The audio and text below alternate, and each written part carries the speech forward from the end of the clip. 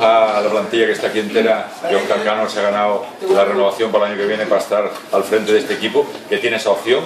Oscar Cano, ¿qué dice? Nada, Oscar Cano no puede decir nada. Un contrato, un contrato firmado y, y ahora pues, bueno, tiene que ser el club el que, el que se exprese al respecto. Yo sí te puedo decir que este es el mejor club donde se puede estar, este es el, uno de los grandes clubes de, de España, es una enorme satisfacción, un orgullo personal que no tiene descripción ¿no? el poder pertenecer a este club y del mismo modo, igual que te digo una cosa, te digo que eh, Oscar Cano no va a ser un problema nunca eh, en relación a que el Betis pueda llevar a cabo el proyecto que considero oportuno.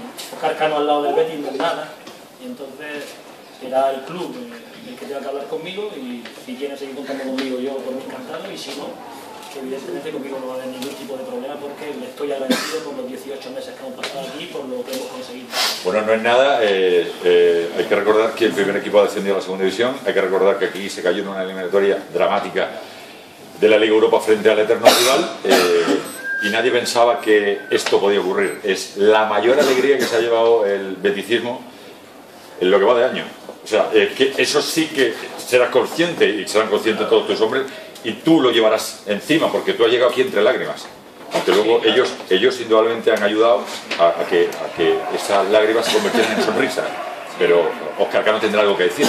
claro, tenemos que decir que llevamos prácticamente un año trabajando todos juntos, que ha habido muchas muchas complicaciones ¿no? durante la temporada. Hemos tenido muchísimas bajas. Esta mañana recibí un mensaje del doctor que me decía que Juanma ¿no? iba a ser alineado al inicio, tenía 38 de fiebre, un problema más en contra, solo 45 minutos para remontar y esta gente lo ha hecho, lo ha hecho posible. En relación a que lamentablemente es la única alegría que se ha podido llevar el club junto con el campeonato de cadetes a nivel de resultados. Pero yo te puedo decir, y ahora sí que lo digo como lo he dicho durante todo el año y a boca llena, que me cuesta creer que haya una cantera en, en, cualquier parte del mundo que haya trabajado con la profesionalidad y, y con el, y con el bien hacer. ¿no?